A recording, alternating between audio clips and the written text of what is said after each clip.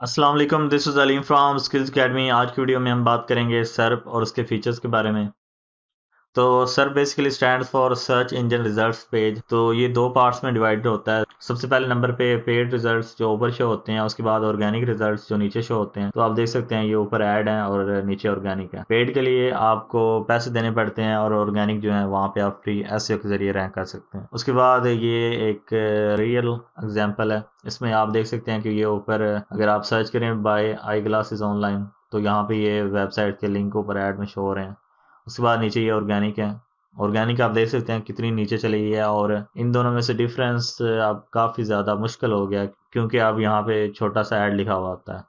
उसके अलावा ये साइड पे भी प्रोडक्ट के ऐड शो हो रहे हैं। तो आप देख सकते हैं ये ग्राफ जो पहला पेज है, उससे सबसे ज़्यादा क्लिक्स मिलती हैं और ये यहाँ से दूसरा पेज शुरू होता है और इसे कितनी थोड़ी क्लिक्स मिलती हैं। उसके बाद जो टॉप थ्री रिज़ल्ट होते हैं, उन्हें सेवेंटी फाइव परसेंट क्लिक्स मिलती हैं। उसके बाद SERP features SERP features basically Google ने बनाए थे लोगों का टाइम बचाने के लिए, अपनी ज़्यादा सर्विसेज़ सेल करने के लिए और ऑर्गेनिक क्लिक्स जो हैं, जो वेबसाइट्स की जाती हैं उन्हें कम करने के लिए। मतलब ये हमारे लिए तो काफ़ी हद तक नुकसानदेह है, लेकिन जो सर्चर है, उनके लिए फ़ायदेमंद है। तो इसमें पहले नंबर पे फीचर्स स्निपेट फिर नॉलेज कार्ड फिर knowledge panel images pack top stories people also ask shopping results tweets books और site links videos google flights और hotel pack job listings reviews local pack उसके बाद paid results जैसे कि मैंने आपको पहले बताया कि ये आप देख सकते हैं काफ़ी ज़्यादा जगह घेर लेता है पहले ये एरिया फ्री लोगों के पास था मतलब कोई भी बंदा यहाँ पे रैंक कर सकता था लेकिन गूगल एड के लॉन्च के बाद अब ये ऊपर वाला ज़्यादातर हिस्सा जो है जो पैसे देते हैं उनको मिलता है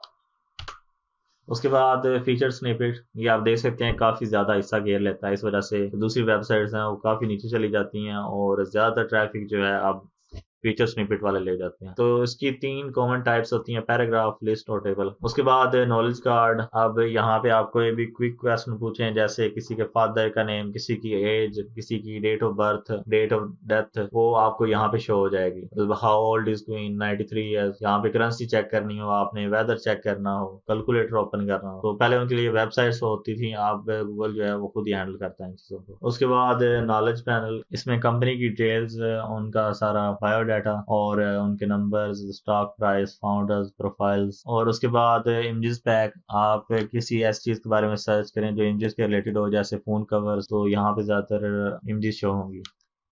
उसके बाद टॉप स्टोरीज अगर आप किसी न्यूज़ के बारे में सर्च करें, जैसे कि कोरोना वायरस तो यहाँ पे टॉप स्टोरीज फिर शो होती हैं। किसी प्रेसिडेंट का नाम लिख दें या किसी और चीज़ के बारे में।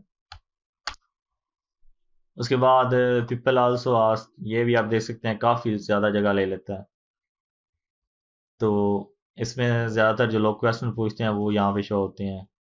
जैसे एच रेफ के बारे में what does H ref stand for और इसका रैंक क्या है ए उसके बाद शॉपिंग रिजल्ट्स पहले ये सारी ट्रैफ़िक जो है, ये ई कॉमर्स वेबसाइट्स को मिलती थी। लेकिन अब गूगल ने यहाँ पे अपना कब्जा जमा लिया है और यहाँ पे उनकी प्रोडक्ट्स जो होती हैं, जिनके लिए आपको पे करना पड़ता है। तो इस वजह से ई कॉमर्स वेबसाइट्स की अब ऑर्गेनिक रीच बहुत ज़्यादा कम होगी उसके बाद ट्वीट्स बॉक्स ये भी काफ़ी ज़्यादा हिस्सा। उसके बाद ट्वीट्स बॉक्स देख सकते हैं आपकी ये काफ़ी ज़्यादा जगह घेर लेता है। उसके बाद साइट लिंक ये आप देख सकते हैं कि नीचे काफ़ी ज़्यादा साइट लिंक्स हो रहे हैं वेबसाइट के।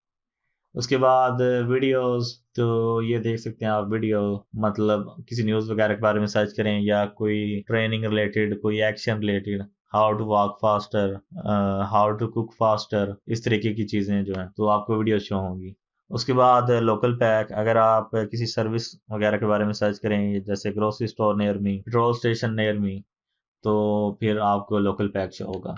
उसके बाद रिव्यूज़ आप देख सकते हैं, यहाँ पे इमेज शो हो रही है और ये नॉर्मल रिज़ल्ट से काफ़ी ज़्यादा बड़े हैं। तो इस वजह से ये भी काफ़ी ज़्यादा जगह घेर लेते हैं। उसके बाद गूगल फ्लाइट्स पहले फ्लाइट्स वेबसाइट होती थी, अब गूगल यहाँ पे भी अपनी चीज़ें शो करवा देता है। मतलब इतनी देर बाद ये फ़्लाइट जानी है, इतनी देर बाद ये फ़्लाइट जानी है, उसके कितने चार्जेस हैं। उसके बाद होटल पैक, पहले होटलों की वेबसाइट्स होती थी, उन्हें ओपन करके सर्च करना पड़ता था। अब ये यहाँ पे सारा कुछ शो हो जाता है। उसके चार्जेस वगैरह लोकेशन वगैरह। उसके बाद जॉब लिस्टिंग्स आप किसी भी जॉब के बारे में सर्च करते हैं तो वो जो आपके नियर होती हैं जॉब्स वो शो हो जाती हैं यहाँ पे। तो यहाँ से आप अप्लाई कर सकते हैं, अपनी सी सबमिट कर सकते हैं ये सारी चीज़ें बेसिकली गूगल ने बनाई हैं हमारी ऑर्गेनिक रीच काम करने के लिए। तो इसकी वजह से काफ़ी ज़्यादा बैड इम्पैक्ट भी हुआ है, काफ़ी ज़्यादा वेबसाइट की ट्रैफ़िक कम होगी और गूगल की कोशिश ये है कि वो जितना ज़्यादा से ज़्यादा हो सके।